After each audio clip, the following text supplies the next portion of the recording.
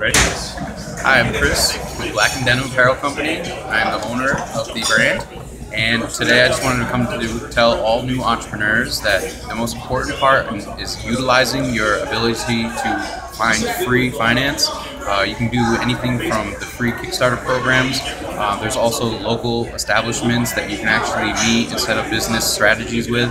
And then you also need to know that, again, bootstrapping, hard work, going and actually finding out where this information is, and that way you'll be able to establish where you can find that free marketing. And also in terms of your website, try to find out where those people are that are willing to help out for a startup company, a small business. But in the end, I wish you the best of luck.